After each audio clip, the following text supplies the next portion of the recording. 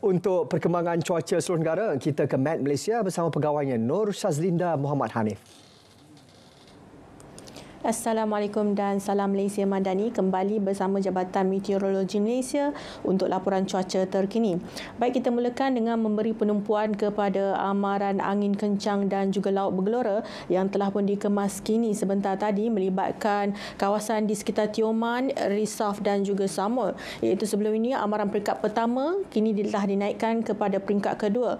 Namun amaran ini masih lagi kekal sehingga 28 Januari 2024 dan keadaan ini masih lagi berbahaya berbahaya kepada kesemua aktiviti laut terutamanya bot-bot kecil, feri dan juga sebarang aktiviti menangkap ikan.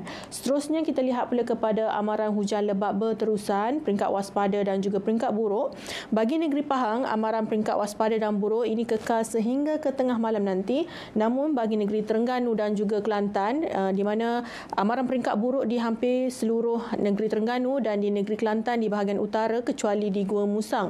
Amaran ini pula boleh berlanjutan sehingga 25 Januari iaitu sehingga ke hari esok dan keadaan ini diminta orang ramai untuk berhati-hati berikutan dengan keadaan ini boleh mendatangkan keadaan banjir eh, terutamanya bagi mereka yang tinggal di kawasan yang berkedudukan rendah. Baik kita teruskan dengan melihat keadaan cuaca pada petang ini.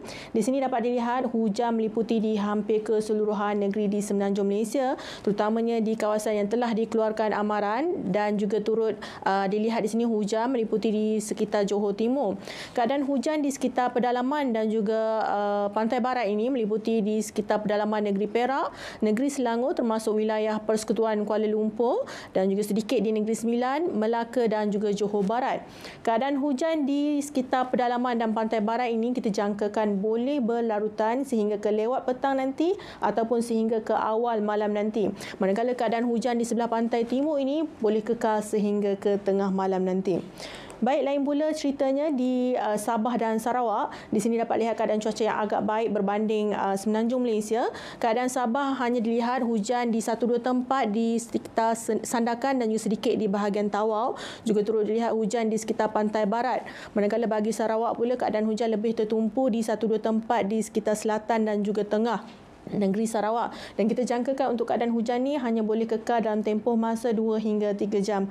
Baiklah sekian sahaja laporan cuaca daripada Met Malaysia buat masa kini. Sebelum kita berpisah kita lihat dulu ramalan cuaca bagi bandar-bandar utama di seluruh Malaysia. Saya Linda Hanif. Assalamualaikum dan jaga diri.